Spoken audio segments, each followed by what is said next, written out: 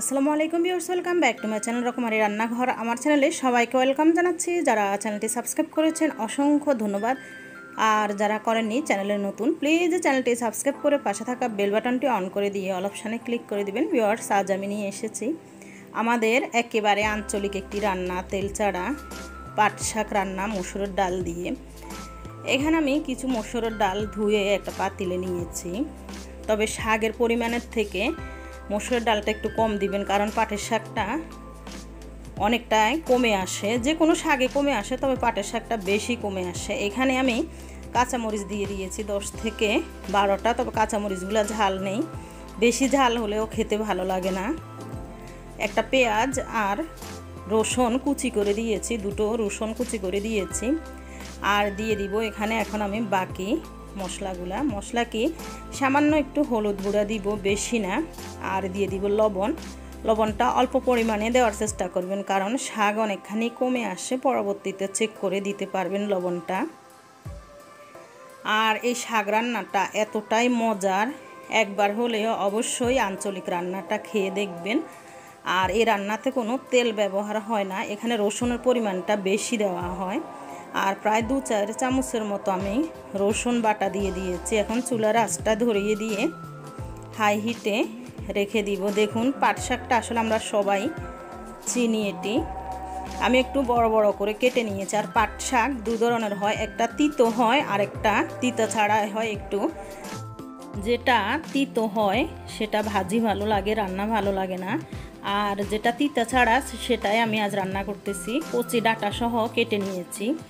আর ঢাকনা দিব না, ঢাকনা দিলে হবে কি ডালটা বেশি ফেটে যাবে।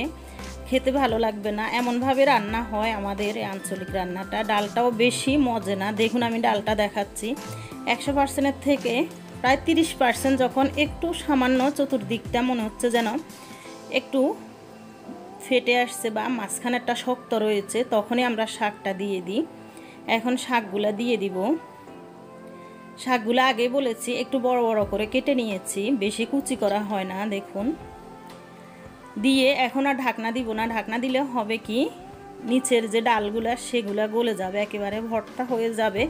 খেতে ভালো লাগবে না, ডালটা সেদ্ধ হবে ঠিকই, কিন্তু ডালটা গলে যাবে না, ওই অবস্থাতে রান্না হয়। চুলার আঁচটা হাই হিটে দিয়ে রেখে দিব।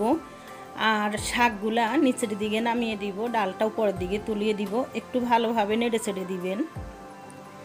এই যে দেখুন, শাকটা কিন্তু বেশিক্ষণ চুলে রাখা যায় না, পাঁচ থেকে সাত মিনিট ডালে শাকটা দেওয়ার পরে রান্না করতে হয়। এখন আমি ভালোভাবে নেড়ে চেড়ে উল্টিয়ে দিব। এই যে ডাটাগুলা, যে কচি আগার ডাটাগুলা, শাকের সেগুলা একটু বড় বড় করে নিয়েছি। অতিরিক্ত সেদ্ধ করে ফেললেও কিন্তু এই শাকটা খেতে ভালো লাগে না। ভালোভাবে মিশিয়ে দিয়ে এখন আমি ঢাকনা দিয়ে রেখে দিব চার থেকে পাঁচ মিনিটের মতো। এই যে ডালটা কিন্তু গলেনি, একটু শক্ত আছে। আবারও আমি ঢাকনা খুলে দেখেছি যে ডালটা কোনো বেশি গলে যাচ্ছে কি না ঢাকনা দিয়ে দু থেকে তিন মিনিটের মতো আবারও রেখে দিয়েছিলাম। আবার ওইভাবে একটু মিশিয়ে দিব। ডালটা দেখবেন যে মানে ভিতরের অংশটা এখনও অবধি কি শক্ত রয়েছে। এখন আমি ঢাকনা দিয়ে রেখে দিব চুলার আঁচটা মিডিয়াম টু লো করে, দু থেকে তিন মিনিটের মতো। প্রায় অনেকখানি শাকটা আমার হয়ে এসেছে। একেবারে ঢাকনা দিয়ে বেশিক্ষণ রাখা যায় না। এখন আমি চুলাটা বন্ধ করে দিব। আর ডালের পানিটা কিন্তু জমে যাবে, আমরা সবাই জানি ডালের পানি কিন্তু অনেকখানি জমে আসে। রান্নাটা কমপ্লিট, দেখুন। আমি পাতিল সহ টেবিলে নিয়ে এসেছি, দেখাচ্ছি, দেখুন কেমন হয়েছে। এর রসটাও আরও ঘন হয়ে যাবে, এখন তো অনেক গরম, মাত্র চুলার থেকে নিয়ে এসেছি। আমি এখন একটি সার্ভিং ডিশে পরিবেশন করে দেখাচ্ছি। সত্যি শাকটা অনেক মজা, এভাবে একবার হলেও রান্না করে খেয়ে দেখবেন গরম ভাতের সাথে। খুবই ভালো লাগে খেতে।